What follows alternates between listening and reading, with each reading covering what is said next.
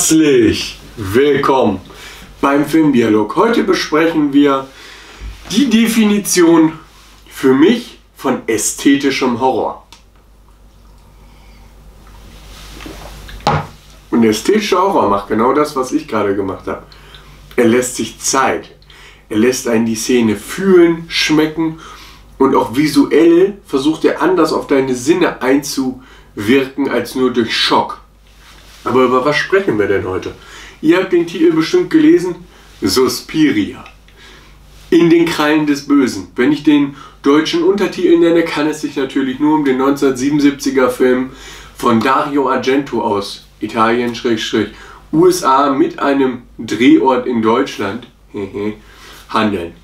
Und zwar, es ist einfach einer dieser Horrorfilme, die einen Ikonenstatus haben. Suspiria ist so ein Name, wenn man sich früher angefangen hat mit Horror zu beschäftigen. Was hat man dann zuerst gehört? Dawn of the Dead. Freitag der 13., Nightmare on Elm Street. Und irgendwann, wenn man so von den Franchise-Horrorfilmen wegkommt, kam man nach einer Zeit zu sowas wie Suspiria, Tenebre, Profondo Rosso,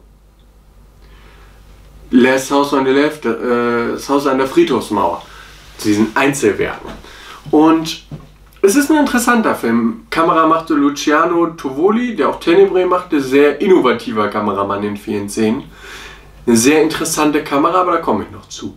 Schauspielerin Jessica Harper, Shock Treatment. Interessanter Film, Shock Treatment, muss man sagen. Was sehr eigenes. Äh, Minority Report und sie war auch ein Remake von Suspiria. Dann haben wir noch einen sehr jungen Udo Kier, aber in einer extremen Nebenrolle, eigentlich fast egal. Metascore. Äh, ein Horror von einem Film, sagt das New York Magazine.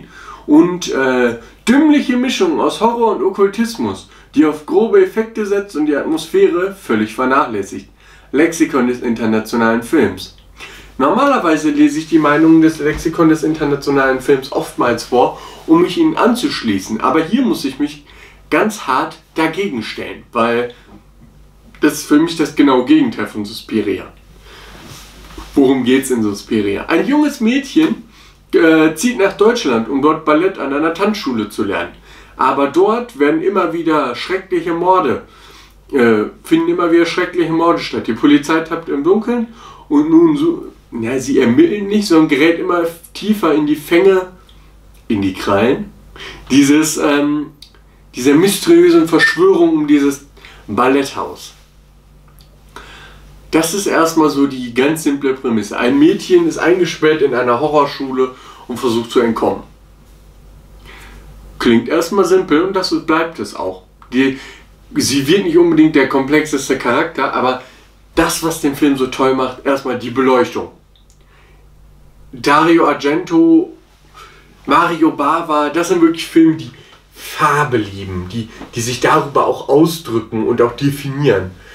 Und dann die extremen Gewaltszenen, die selbst heute noch überraschend sind, wie schlimm die an einigen Stellen noch und mit was für einer Vehemenz diese, diese Gewalt eingesetzt wird in diesem Film.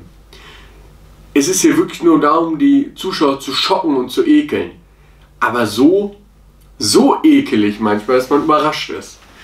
Der Film versucht aber auch so, für mich wie so ein Film wie The Fog, auf so eine langsame Art ein Unwohlsein in dem Zuschauer zu erzeugen. Weil Susie Bannon, das ist das Mädchen, was Ballett lernt, die erlebt diese Schule genauso wie der Zuschauer zum ersten Mal. Und die Schule wirkt die ganze Zeit schon sehr gespenstisch. Ob es jetzt die seltsam verschrobene Direktorin ist oder die Tanzleitung, die genauso seltsam ist. Der blinde Klavierspieler und sein Hund oder der komische Butler aus Ungarn, der nicht richtig, äh, der irgendwie ein falsches Gebiss hat. Das sind alles sehr ähm, seltsame Charaktere, die einem schon von Anfang an das Gefühl geben, hier stimmt was nicht, hier ist was nicht richtig. Dieses Gefühl verstärkt sich sowohl für Susie Bannon als auch für den Zuschauer über den ganzen Film. Das ist was, was den Film ähm, sehr langsam werden lässt. Und das ist auch ein kleiner Kritikpunkt. Suspiria ist kein Horrorfilm, der vorwärts sprintet. Er geht. Er geht gemütlich, aber mit einer wahnsinnigen Präsenz. Es ist praktisch gesehen wie ein Modellaufsteg. Es ist wie ein, wie ein Model auf dem Laufsteg. Es geht nur um Ästhetik, es geht nur um gutes Aussehen, tolle Musik, schön beleuchtet, aber es ist langsam und toll anzuschauen. Und jemand wird fast in zwei Teile geschnitten. Das passiert nicht bei allen Model-Shows. Aber das passiert bei Suspiria. Suspiria ist ein sehr feministischer Film, wenn man so möchte. Es geht um Frauen, es geht um Spoiler, es geht um Frauen, es geht um Hexen. Männer sind hier definitiv das schwache Geschlecht. Sie werden zurückgestellt. Sie sind immer als deformierte, kranke oder behinderte Menschen dargestellt. Frauen sind hier definitiv die in der machthabenden Position. Sie haben die Leute verzaubert. Sie haben, sie haben Macht über die Leute. Männer sind hier immer nur als immer nur die zweite Geige, können nicht eingreifen, können nicht helfen, können sich nicht selbst verteidigen und nicht auf ihre Sinne verlassen. Während Frauen immer die Macht ausüben. Was sehr schön ist, ein Film, der diese ähm, Art wählt und dann trotzdem halt eine Frau in den Fokus des Horrors stellt, anstatt natürlich, was dann noch konsequent gewesen wäre, einen Mann zu nehmen. Das ist eine sehr schöne Umkehrung in dem Fall. Der Film hat, hat einfach nur eine tolle Energie, hat wirklich schlimme Jumpscares, die aber nicht wie klassische Jumpscares funktionieren, sondern eher so ein bisschen abgewandelte Erschreckmomente sind.